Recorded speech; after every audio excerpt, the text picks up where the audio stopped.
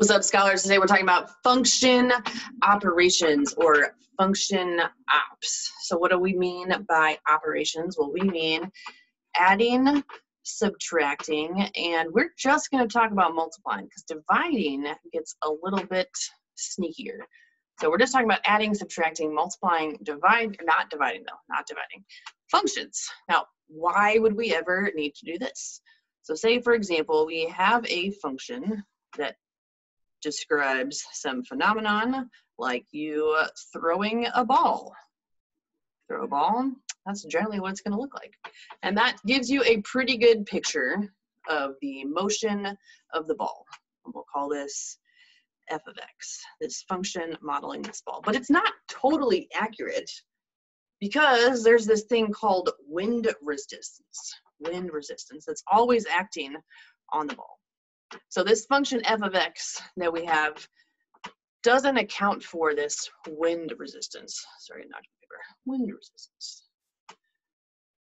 So we really need some new function that incorporates this other component, wind resistance, which in this case actually is a function. It's a function of the density of air. It's a function of the velocity of the object. It's a function of the cross-sectional area of that option, op, object. So this wind resistance is itself a function.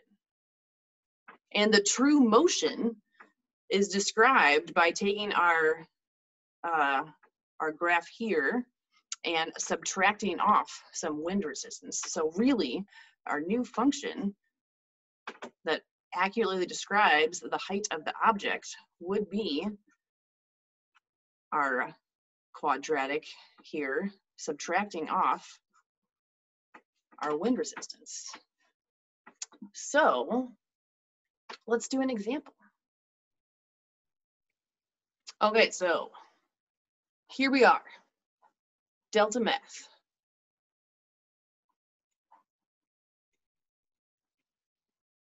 Our question says, given that f of x, some function, equals x squared minus 14x plus 45, got it? So this is some sort of quadratic going up.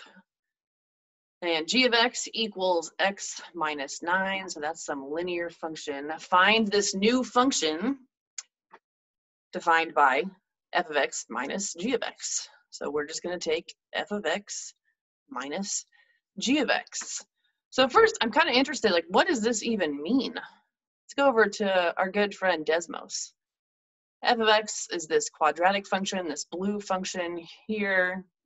g of x is this red linear function, and then h of x, our new function, defined by f of x minus g of x. That is our function here in black. That's our resultant function.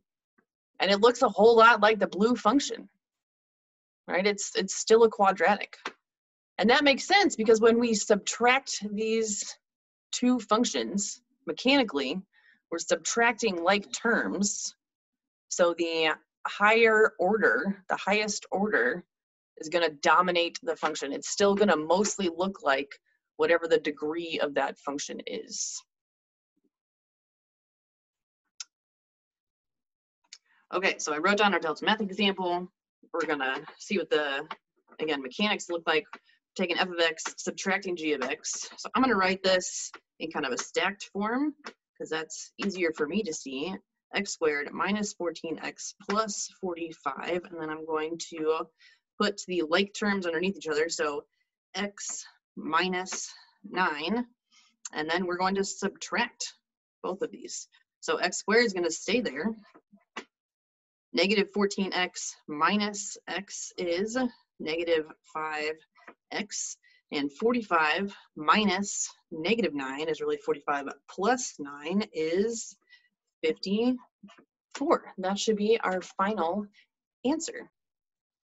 So then we go over to our good friend Wolfram Alpha and we plug in what we're looking for and it confirms our beliefs x squared minus 15x plus 54. So we go over delta math. I wonder if I can just copy this. No, go over to Delta Math. We say x squared minus 15x plus 54. We click that submit button because we're ready. We're ready to submit and we get all the money. Okay, addition would be exactly the same. It's so so boring I didn't want to talk about it. I do want to talk about notation though. So we just saw f of x minus g of x, and you might see it that way. Or you might see f minus g of x. These are equivalent statements. This one actually has a little less writing, this f minus g of x. I kind of like it better. It's more condensed. So similarly, like I said, all the same rules would apply if we were adding two functions together. We'd line up our terms and add our like terms. Super simple. That will also look like f plus g of x. All right, cool. So that takes care of addition and subtraction. Now we're going to talk about multiplying, multiplying functions. Multiplying. Because it's not, it's not quite as simple. Not quite as simple, though it's uh, exactly as you would imagine it to be. You're going to multiply two functions. So we might see that like f of x times g of x, or we might see that as fg of x. Great. Actually, I think it usually has a little dot in there. f dot g of x. F dot g of x. So let's talk about multiplying functions. All right, so I want to show you a cool example of where this gets used in signal and information processing, uh, which would be like working with sound and images and some scientific uh, instruments. So let's say, come on cursor, come on everybody. Oh, he's stuck, there we go.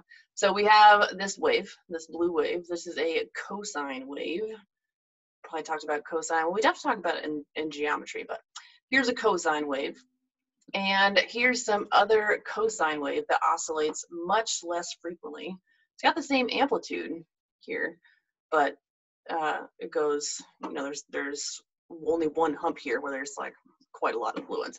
What happens if we multiply these two functions together? We get a totally different function, totally different function. It looks, it looks really, I mean, does it looks more like the blue one. Yeah, it looks more like the blue one, but it's it's a new function. It has a new shape, right? There's little kind of dips here that don't uh, happen in either one of these quite like that, or maybe they do here on the red.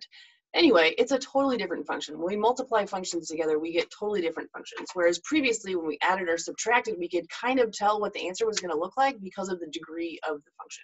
And we could still kind of tell what the answer is going to look like, but it has a lot more detail that we wouldn't necessarily be able to see right away.